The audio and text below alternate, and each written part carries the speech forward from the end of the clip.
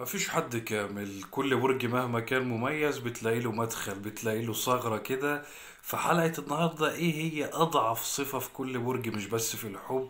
في أي حاجة في نواحي حياته يعني مع أصدقائه مع أهله في شغله. المهم هو ده موضوع حلقتنا. وكالعادة كل حد يتوقع برجه ويكتب في التعليقات. وإحنا بنتكلم كده لأن أنا بقرأ كل تعليقاتكم. ويلا بينا مع برج الحمل.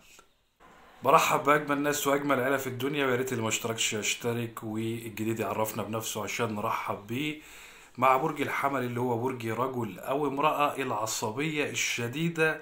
خسرتنا كتير. العصبية خسرتنا كتير. عصبية برج الحمل أوفر وأي صفة هنقولها في برج هتبقى فيه بشكل أوفر وده اللي خلاها بقت يعني ضعف بالنسبة له بقت نقطة ضعف عصبي جدا. ممكن لو معاه حق بسبب عصبيته يخسر الحق ده أو الناس تشوف إن هو متحامل على نفسه والطرف الآخر. بنحاول إن إحنا نقل منها على قد ما نقدر ولكن مش عارفين. أما برج الثور الخجل الشديد الخجل الشديد. كل برج المفروض بيتمتع بنسبة خجل ولكن مع برج الثور خجله شديد. مما في بعض المواقف ممكن يخليه كده يعني حقه ما يعرفش ياخده تعبير عن اللي جواه ما يعرفش يقول ما يعرفش يجامل. لو هي متجوزة وغلطانة مثلا أو بتحب حد وغلطانة ما تعرفش إن هي يعني من الخجل الشديد في كلام كده إيه مطلوب. تخجل إن هي تطلب حاجة. يخجل برج الثور إن هو يطلب مصلحة يطلب علاوة إن هو يعمل الحركات اللي البعض بيعملها دي عشان يصل لمبتغاه. فزادت صفة الخجل مع برج الثور عن الحد فأصبحت ضعف والمفروض إن هو يشتغل عليها شوية كل حاجة في المعقول بتبقى حلوة.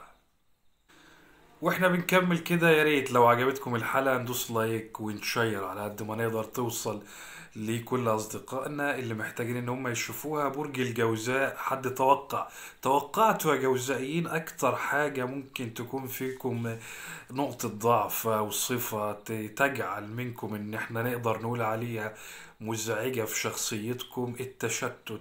برج الجوزاء من الأبراج اللي ممكن عندها نسبة تشتت زيادة عن اللزوم نسبة تشتت اوفر وعارفين كلنا إن الجوزاء شخصيتين وبيحب ويكره وبيقعد ويقف. كل ده في آن واحد مما يجعل موضوع التشكك التشتت أو صفة التشتت في شخصية الجوزاء رجل أو أنثى نقطة ضعف طبعا نقطة ضعف وبيخسروا كتير.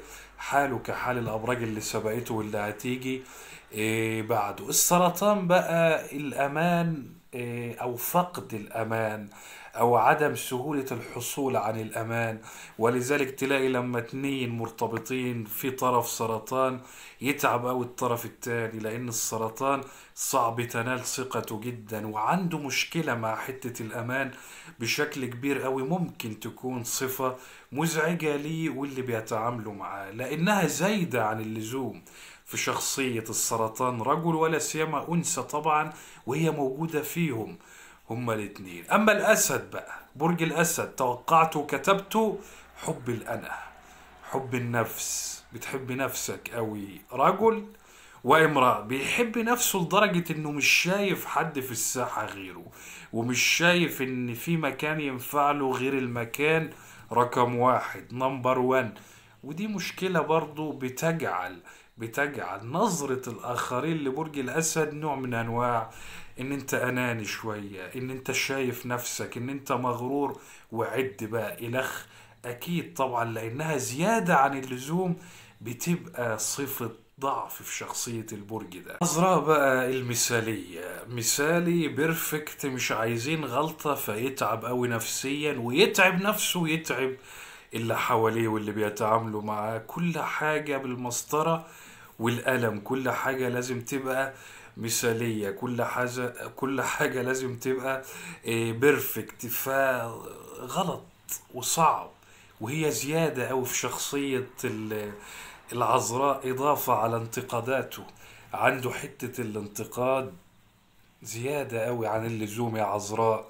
رجل أو أنثى فدي برضو خلي بالك بتزعج الآخرين منك ولازم إن أنت تعمل كنترول شوية عليها على قد ما تقدر. يعني الميزان تردده مهما تعددت الصفات الجميلة في برج الميزان يجي في حتة التردد ونتعب معاه ويتعب نفسه ويتعب المحيطين. وصفة التردد شديدة عند برج الميزان عالية. over عند برج الميزان.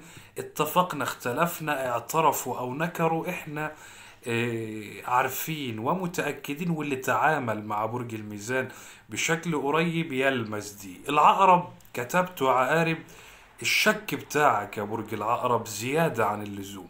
الشك بتاعك يا برج العقرب over قوي ودي برضو صفة تعتبر ضعف لأنها هتخسرك كتير. ممكن تخسرك حد مرتبط بيه ممكن تخسرك صديق مقرب ليك ممكن تخسرك بعض من أهلك. فبرضه لازم إن أنت تنظر الموضوع يستحق.